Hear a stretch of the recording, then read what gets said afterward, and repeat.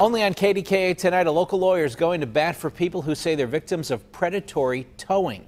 He's filed a class action lawsuit even though the towing company in question says it's operating within the law.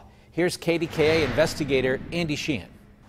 They lie in wait outside this CVS in East Liberty. And if someone leaves the lot for something other than shopping at the store, they're free to tow it. Uh, what did they do wrong? The cars are towed away. When the unsuspecting owners return, they're in for a shock.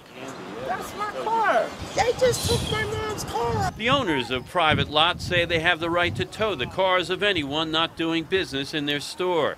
Companies like Tag Towing are only too happy to oblige, demanding hundreds of dollars to give the car back. This is really um, unbelievable. I mean, I've never been through nothing like this before in my whole life. It's a drama that's played out in several locations several times a day. And people who are towed have little choice but to pay their fines and get their car. But now it appears they'll have their say in court. So you park right here? Yes. Same thing happened to Antoinette Osei, who parked in the CVS lot to get a prescription filled, but went to the bank first to get the money to pay for it. When she came back, her car was on the hook. He said, Well, if you give me $200, I will drop your car. And 200 bucks. 200 bucks on Good Friday. Walking by at the time was attorney Josh Ward, who interceded paying the $200. When he returned to his office, he found a city ordinance which limits tow fees to $135. Now he's filed a class action suit.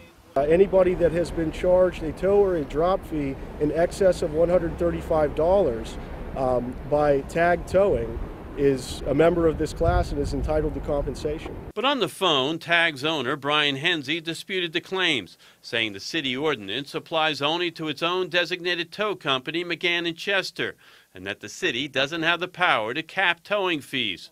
Ward says he'll argue otherwise in court.